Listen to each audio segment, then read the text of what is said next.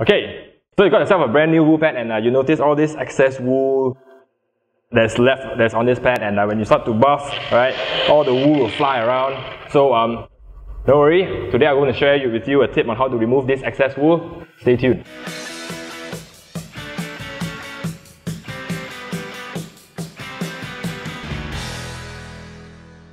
Right, so I got here a 4-ply 100% twisted wool pad, brand new and uh, a lot of loads of excess wool. So uh, what I've been taught to use a spur, run the machine, spur it and the loose wool will come out, right? Uh, this can be done, uh, just that it's a bit too messy, right? So what you really need is, or what I would use is just a bucket of water, alright? So uh, set the speed lower setting, uh, which is 1, around 600 RPMs. So just turn it on, alright?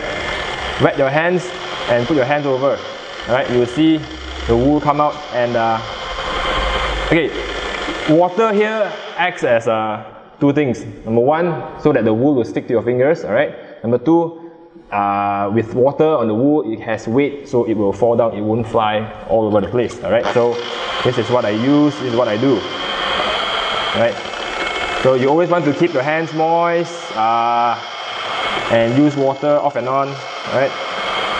This is just plain water, right? So uh, keep doing this for about 5 to 10 minutes for every new wool pad and uh, once you use it, you can just, and then you not, you will not get those wool flying around. Okay, so this is what I would do to remove loose excess wool on every new wool pad, right? And I only do it when it's new, when I just get it out from the box, right? So uh, if it's seasoned, it will not it will not lint as much as, as, as when it's new, right? So um, if you have any other ways of doing so, please share with us on the comment box and uh, remember to subscribe to our channel for more tips coming your way.